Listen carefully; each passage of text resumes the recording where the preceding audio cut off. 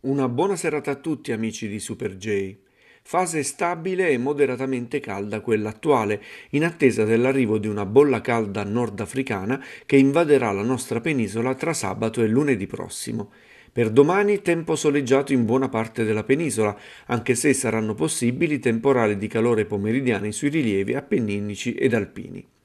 Per quanto riguarda l'Abruzzo sarà un giovedì all'insegna del sole in tutti i settori al mattino e maggiore nuvolosità sui rilievi al pomeriggio. Non si escludono possibili temporali di calore che potranno interessare occasionalmente anche le zone pedemontane. La ventilazione risulterà debole di direzione variabile ed il mare calmo in tutti i settori. Le temperature minime di questa notte saranno comprese tra 13 e 20 gradi e le massime di domani in ulteriore aumento, comprese tra 26 e 30 gradi. Per la meteo è tutto, buon mercoledì sera a voi.